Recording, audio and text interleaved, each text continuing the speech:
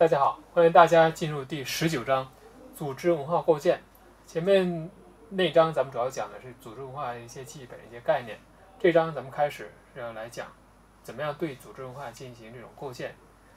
咱们来看一下整个章节的一些组成部分。第一部分主要是讲是怎么样来创建跟维系组织文化，第二部分主要来讲的是怎么样来传递组织文化，第三个方面主要是讲是灵修与组织文化这三个方面。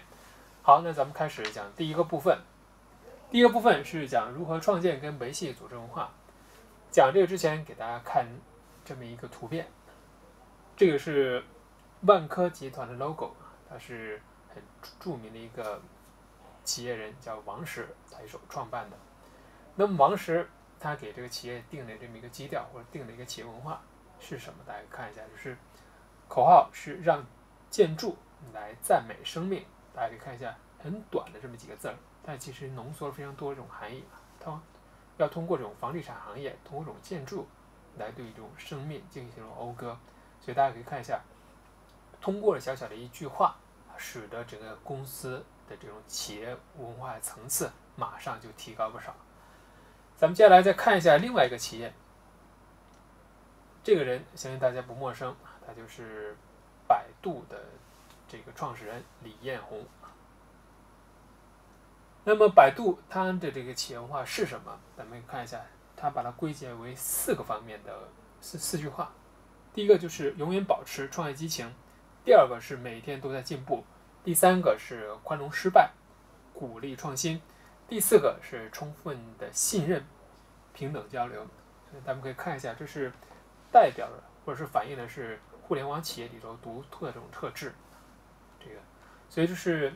这两个企业文化的对比，印证了组织文化正是可以使得企业相互区分的这么一个呃标志。那么咱们来看一下，就是组织文化是怎么样来开始的。首先，他就是创始人，他会选择那些对企业文化认同那些人，使他成为组织里头的一员，就是他会有目的性进行这种选择。第二个方面就是会对员工这种思维方式进行这种灌输跟社会化。第三个方面就会创始人他会把自己的行为作为一种榜样，鼓励员工来认可认同他这种榜样这种力量。所以就是通过这么几个方面，创始人他把自己这种企业文化，把自己一种价值观灌输到这种企业当中，灌输到每个员工当中，灌输到自己这种塑造这种企业文化当中。接下来咱们再看一下，就是企业文化怎么样来开始。这个咱们可以看一下，就是当企组织成功时，创始人的愿景往往被视为成功的一种主要决定因素。这也能够在另外程度上解释啊，为什么这家企业在很长一段时间，他们的企业文化基本上都是延续着创始人所定这种轨道来来走。为什么？就是因为这样一种情况。就是第二个情况，就是说，呃。创始人他的一个人格特点会植根于整个企业文化当中，整个企业当中，就是他这种人格特点通过各方面的灌输，使得整个企业浑身上下都充满这种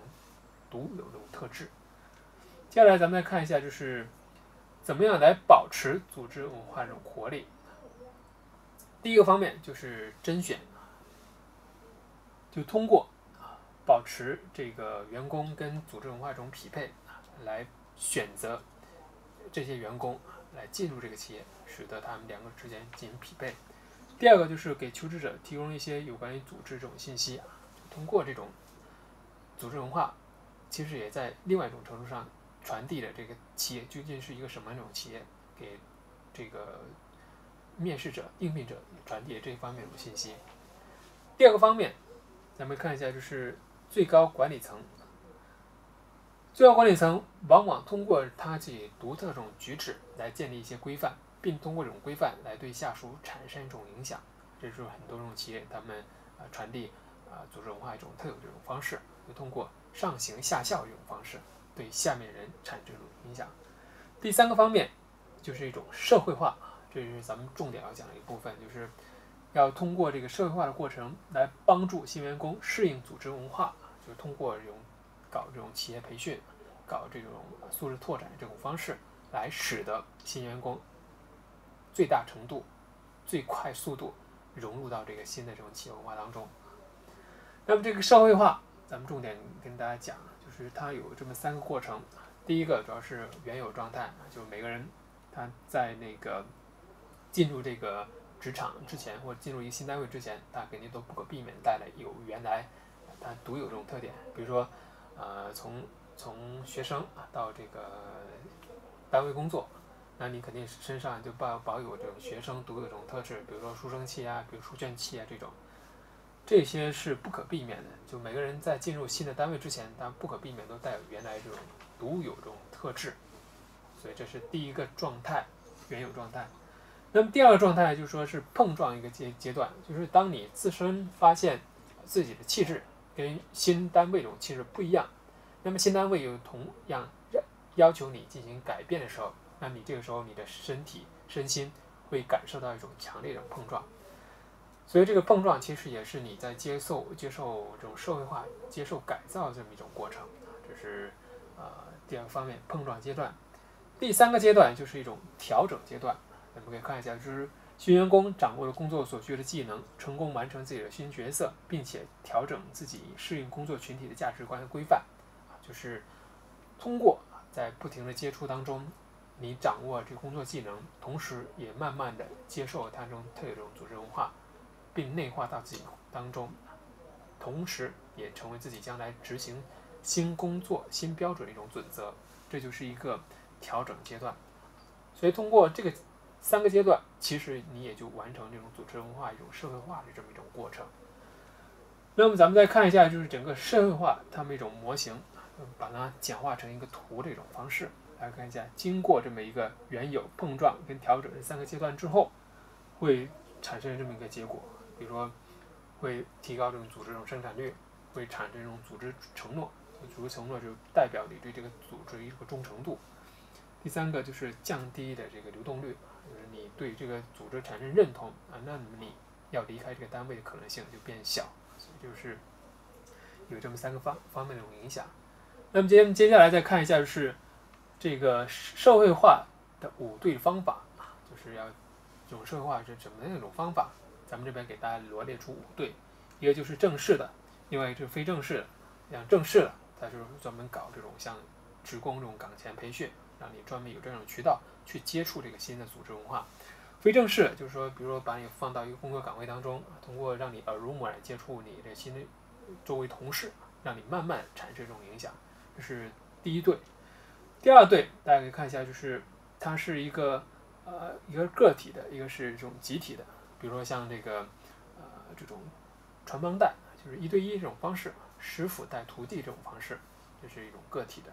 第二种就是这种集体的，比如说他会让你搞这种像咱们图片里头罗列这种素质拓展，通过这样一种户外拓展这种方式，让你对这个组织文化产生另外一种认同，这是第二个方面。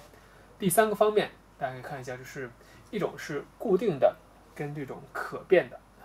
固定的。比如说像这种，它是有固定的这种日程，比如说像咱们说这种培训方案，啊，该是一周五天，周一培训什么，周二培训什么，周三培训什么，就每一天他都把这日程排得非常满，非常固定。这样的话，你就是通过这种循环式这种培训，让你对这种组织文化产生一种根本性的认同。还有一种就是像这种可变的，就是说随时可以根据你的情况进行这种调整啊，就是比如说你这周一有空，这周一来来这种培训，周二有空，周二来培训，但是。无一例外都是让你保证在你闲暇时候进行这种相当相应的这种培训，这是第三对。